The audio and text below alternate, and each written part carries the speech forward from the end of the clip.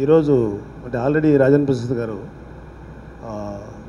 ప్రెసిడెంట్గా పోటీ చేయాలన్న కోరికని మీ ముందు ఉంచారు. సో ఆయన అలా సర్వీస్ చేద్దాము అని వచ్చినటువంటి ఒక మంచి థాట్ని మేమందరం కూడా మనస్ఫూర్తిగా ఆయనకు సపోర్ట్ చేస్తున్నాం. ఎందుకంటే సరే ఇక్కడ పర్సనల్ విషయాలు చెప్పకూడదు కానీ చెప్పాల్సిన విషయం ఏంటంటే రాజేంద్ర ప్రసాద్ గారు మాకు బ్రదర్ లాంటి వ్యక్తి. ఎందుకంటే మాకు చెన్నై నుంచి చాలా ఆత్మీయమైన వ్యక్తి. అది చెప్పాల్సిన విషయం కాకపోవచ్చు కానీ బట్ మాకున్న రిలేషన్షిప్ ఏంటి మా మాకు అతనితో ఉన్నటువంటి అనుబంధం ఏంటో చెప్పాల్సి వస్తుంది. నాకే కాదు శివాజీకి కానీ ఇటు శ్రీరామ్ కానీ చాలామంది మిత్రులందరికీ సినిమా మిత్రులందరికీ చాలా క్లోజ్. అండ్ ఆయనకు ఉన్నటువంటి ఒక మంచి పేరు కానీ ఒక హీరోగా అతనికి ఉన్నటువంటి ఒక చరిష్మా ఇవన్నీ కూడా ఆయన ఇవాళ ఒక మా అసోసియేషన్ ప్రెసిడెంట్గా నిలబడి నేను మంచి సర్వీస్ చేద్దాము అని చాలా ఎంతూజియాస్టిక్గా ముందుకు వచ్చినప్పుడు నిజంగా మేమందరం చాలా సంతోషపడ్డాం. ఎందుకంటే మా అసోసియేషన్ ప్రెసిడెంట్గా చేయటానికి ఎవరైనా అవ్వచ్చు తప్పులేదు. కానీ కొంచెం చరిష్మా కొంచెం పబ్లిక్ రిలేషన్ బాగా ఉండి పేరు ప్రఖ్యాతులు ఉన్న వ్యక్తులు అయితే చాలా పనులు ఈజీగా జరిగేటువంటి అవకాశం ఉంది. సో అలాగ ఆయన ముందుకు వచ్చినప్పుడు మేమందరం నిజంగా సంతోషంగా ఆయన స్వాగతించాం. అయితే నేను ఒక విషయం చెప్పాలి. రాజేంద్ర ప్రసాద్కి ఉన్న సీనియారిటీకి ఆయనకున్నటువంటి ఒక ఎక్స్పీరియన్స్కి ఎప్పుడో ప్రెసిడెంట్ అవ్వాల్సినటువంటి వ్యక్తి అయినా. సో కొన్ని కారణాల వల్ల కుదరలేదు. సరే ఆ పరిస్థితి ఇప్పుడు రిపీట్ చేయడం కరెక్ట్ కాదు. ఇప్పుడు ఆయన ముందుకు వస్తున్నప్పుడు తోటి నటి నటులు అందరూ కూడా మనస్ఫూర్తిగా ఆయన స్వాగతిద్దాం. నా వ్యక్తిగతమైనటువంటి కోరిక ఏంటంటే నిజంగా ప్రెసిడెంట్ పదవి అనేది ఒక గౌరవప్రదమైన పదవి. దాన్ని ఆయనకి యునానిమస్గా ఇద్దామని చెప్పి మేమందరం అనుకుంటున్నాం. పెద్దవాళ్ళందరితో కూడా మాట్లాడాం. వాళ్ళందరూ కూడా ఆ విషయంలో పాజిటివ్గానే స్పందించారు. ఇక్కడ ముఖ్యంగా ఒక విషయం చెప్పాల్సింది ఏంటంటే నా హృదయపూర్వక నమస్కారాలు. థ్యాంక్ యూ నాగో గారు. మీ సపోర్ట్ మాకు ఎప్పుడూ ఉంటుంది ఇంతకుముందు కూడా. ఇది ఎవరి మీద యుద్ధం కాదండి. మేము మంచి పనులు చేస్తాం అని చెప్పడానికే ఈ ప్రెస్ మీట్. ఓ చిరంజీవి గారు ఓ మోహన్ బాబు గారు ద గ్రేట్ అక్కినే నాగేశ్వరరావు గారు మా మురళీమోహన్ గారు. వీళ్ళందరూ కష్టపడి మూవీ ఆర్టిస్ట్ ఈ స్థితికి తీసుకొచ్చారు. ఈ స్థితికి తీసుకొచ్చిన దాన్ని కిందకి తీసుకెళ్ళటం మాకు ఇష్టం లేదు. నేను ఇప్పటికీ ఎప్పటికీ మురళీమోహన్ గారు మనిషిని నేను. ఇక్కడ జరిగింది ఏమిటి అంటే చిన్న మిస్ మిస్అండర్స్టాండింగ్ ఏంటంటే జరిగింది ఏంటంటే ఎవరిని ప్రెసిడెంట్గా ఈసారి పెడదాము అంటే మా మురళీమోహన్ గారు అన్నారు. మనం ఉండొద్దు నాకు కూడా ఇష్టం లేదు బోలెని పనులు ఉన్నాయి. చాలా పదవులు చేసేస్తాను సార్ అక్కడ. కొత్త వాళ్ళు చాలామంది వచ్చారు. కొత్త వాళ్ళు పెడితే బాగుంటుందని మురళీమోహన్ గారు అన్నారు. అయితే మనం నుంచోవద్దు కొత్త వాళ్ళని ఎవరైనా పెడదాం ప్రెసిడెంట్ అని. ఆయన అన్నాక ఇద్దరు ముగ్గురు పెద్ద హీరోలు రైడ్ వేయడం జరిగింది.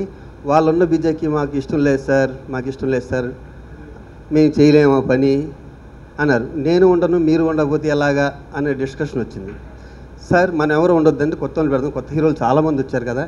అంటే ఆయన నోటంతో వచ్చిన మాటే మా బాస్ నోటంతో వచ్చిన మాటే. సరే సార్ తర్వాత మేము అవుట్డోర్ వెళ్ళాం. అందులో ఒక హీరో గారిని అడిగాను సార్ మీరు ఉంటారా అని అబ్బాయి నాకు ఇంట్రెస్ట్ లేదమ్మా అన్నారు.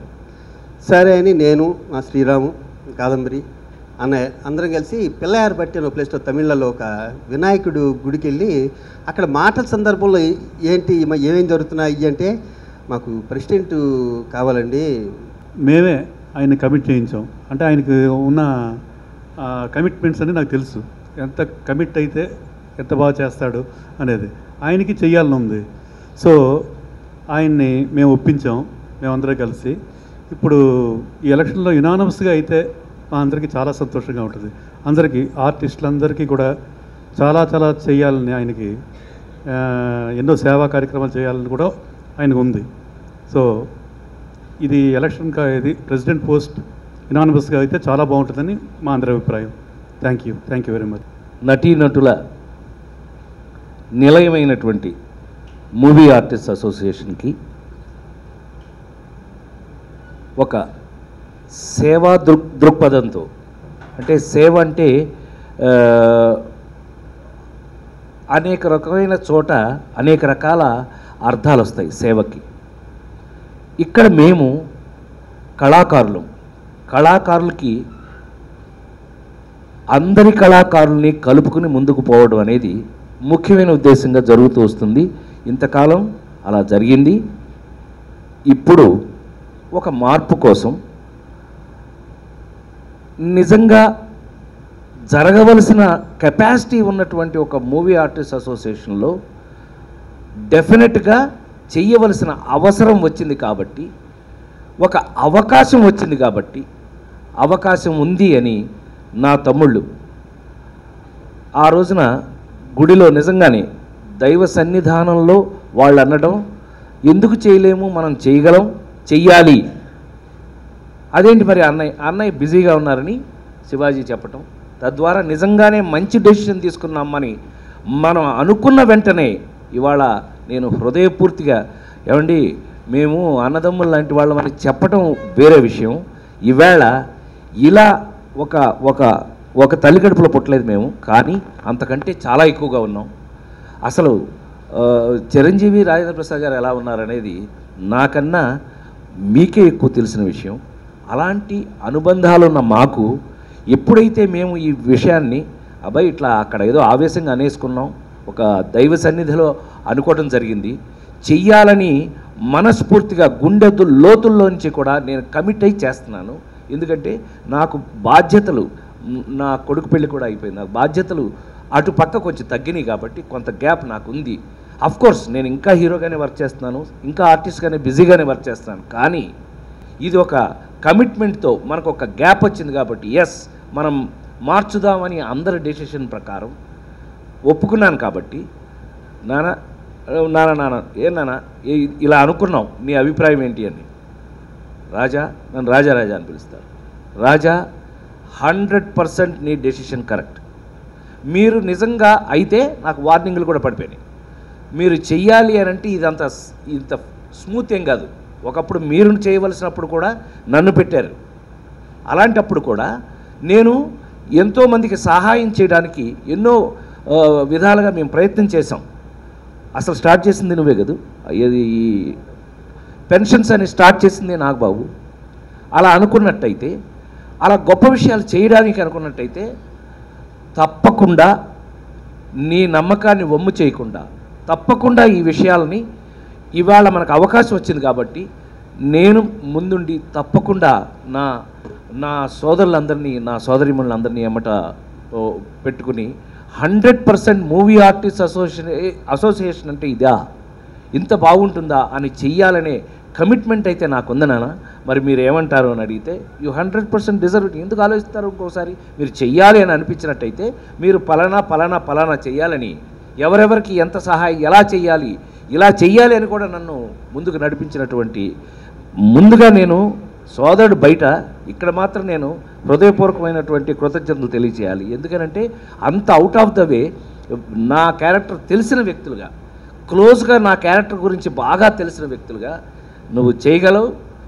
రాజా మీరు చేయండి అందరికీ ఉపయోగపడండి నిజంగా మంచి కోసం ముందుకెళ్ళండి. సర్వీస్ చేయండి.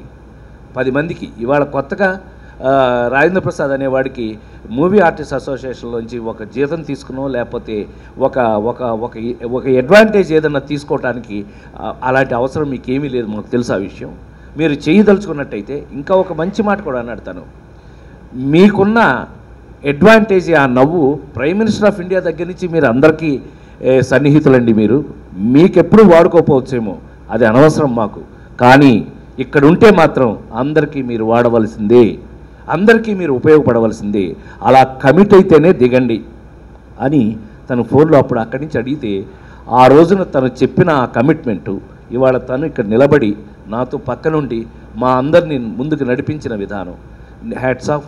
ఇంతకంటే బహుశా ఒక దైవ సన్నిధానం నుంచి బయలుదేరి ఈవేళ అందరూ పెద్దవాళ్ళందరికీ గౌరవం ఇస్తూ ముందుకెళ్తూ పెద్దలంటే గౌరవం ఎప్పుడూ ఉండి ఎప్పుడూ ఉంటూ మన వల్ల చేతనైన సహాయాన్ని హండ్రెడ్ పర్సెంట్ చేయాలని కొన్ని కొన్ని నిజంగా చిన్న చిన్న బాధలు ఉన్నా కూడా. అంటే నాకున్న బాధ ఏంటి? ఏంటండి? ఏదో దుబాయ్లోనూ సింగపూర్లో లాగా ఒక ట్రేడింగ్ చేసుకునే వాళ్ళలాగా నాలుగు గోడల మధ్యలో చిన్న స్టూలు కుర్చీ వేసుకుని ఫోన్ పెట్టుకుని కూర్చోవడం ఏంటండి? మా అసోసియేషన్కి అసలు అసలు మన మా అంటే అమ్మ. అమ్మ. అమ్మకి గుడి అసలు అసలు అమ్మకి గూడేది అసలు? అమ్మకు తల్లి అంటే తల్లిని ఒక గూడేసి లోపల వర్షం వచ్చినా మంచి వచ్చినా చెడు వచ్చినా లోపల కూర్చోబెడతాం కదా మనం.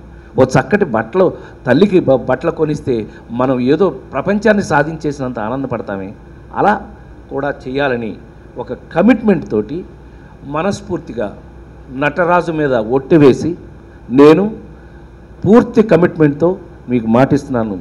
నాకు బాబు please more than a brothers you are you are wishing me to do something మీరు నన్ను ముందుకు చేయటానికి నన్ను ఎట్లా అయితే ఇన్స్పైర్ చేస్తున్నారో నా తమ్ముళ్ళందరూ కూడా నన్ను ఎలా అయితే ముందుకు తీసుకెళ్తున్నారో ఆ నమ్మకాన్ని నేను పరిపూర్తిగా ఆ నమ్మకాన్ని నేను నిలబెట్టుకుంటానని వాళ్ళ చేత అన్నయ్య శభాష్ అని అనిపించుకుంటారని మనస్ఫూర్తిగా చెప్తూ ఇది ముందుకు వెళ్తున్నాం.